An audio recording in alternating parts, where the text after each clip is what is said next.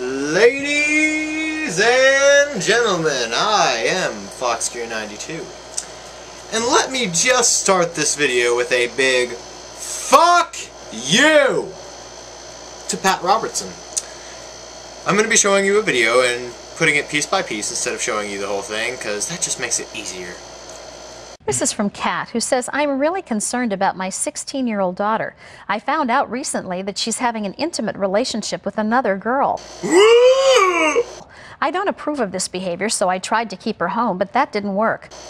I wonder fucking why. Now she's just plain rebelling. Rebelling. okay, you're trying to stifle her sexuality, and that you know, she's rebelling. She's she's rebelling.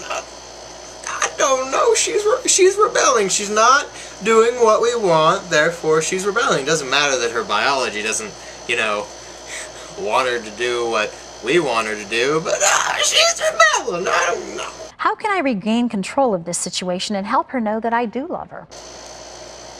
Tell her you love her and that you accept her for what she is. Mind blowing, huh? Um, you need to do a lot of praying about that one.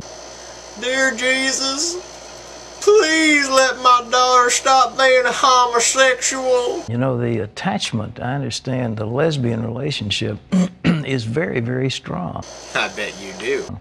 And uh, she probably thinks that she's in love with this girl. Yeah, thinks. She, she thinks. She thinks she She's not. She just thinks she is and um, there, there, there's an emotional bond there.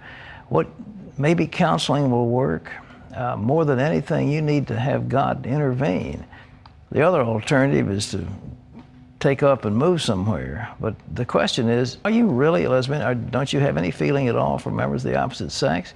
What is, what is the deal going on? You know, teenagers aren't quite sure of their sexual identity. Now, I will go along with that. Teenagers aren't quite sure of their sexual identity. Sometimes it's just kind of this way or that way. They're experimenting, and that's fine. But you're still a cunt. And sometimes she's into this because she didn't know any better. And this is the easy way. Oh, fuck you. Th that's the easy way? Are you fucking kidding me? Have you seen how homosex- Of course you fucking seen how homosexuals are fucking treated in the fucking United States of America. You have seen this. You have contributed to this. Fucking easy way. Oh, fucking suck my fucking cock. Um, so uh, she might grow out of it, but you, you need counseling. You need a professional counselor on this one. The only counselor she could possibly see would be a Christian counselor. Because if she went to a real counselor, they would tell the parents to fuck off, wouldn't they? No, you mean take her to a shame therapist, to make her ashamed of herself, to make her ashamed of what she was born as. That's what you're suggesting. That's what you want. Now, Robbie, can I call you Robbie? I'm going to call you Robbie.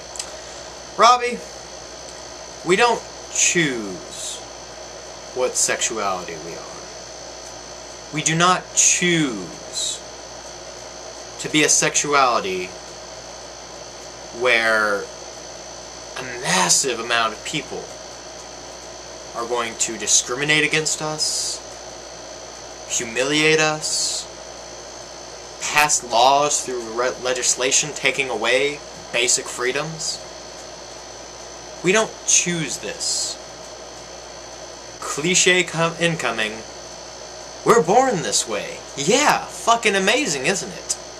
And oh, I'm so sorry that your God doesn't like it. But guess what? Your God can go fuck himself.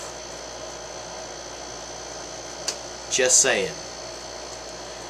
FoxGear92. Peace out.